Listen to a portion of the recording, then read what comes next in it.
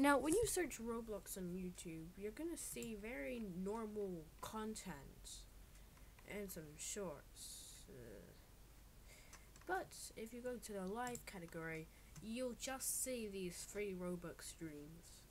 Please do not, and I mean do not, click any links that they give you. Don't even say your username in the chat. Because they're not going to give you the Robux. They do this to trick you into thinking that they're Robux. And when and when I click one of these streams, you're gonna see this kind of um, thing on the screen, and yeah, you can e you can easily tell that it's a scam when they've started streaming 16 hours ago, and you can't go back. See, you know it's a scam when they're spamming, when it's like started streaming 16 years ago, 16 hours ago. I mean, and it's like, it's basically you can't go back. There's no live. There's no like you can't return to like a different.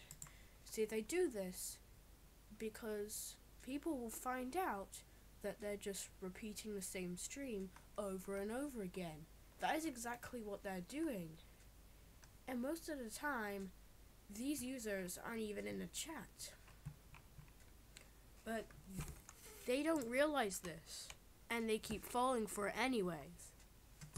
See, this is the problem. Whenever we search for Roblox streams, there's just this, only this.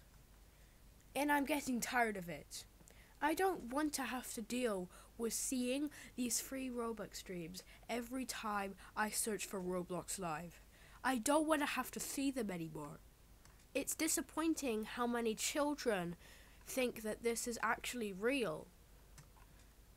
But it's not real because every time, see, if I go on another stream, I can't go backwards. And again, a similar UI. Now, people will say, now people will like, people might add this little chat box here to make it look real. But in reality, it is not real.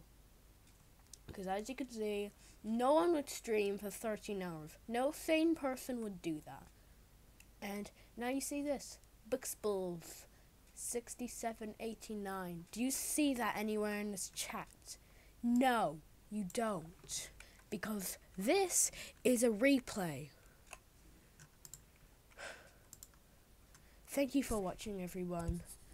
I hope that this problem it will be tackled by YouTube. Or, well, anyone for that matter. Because this is a real problem, and I don't want to have to deal with this anymore. Peace.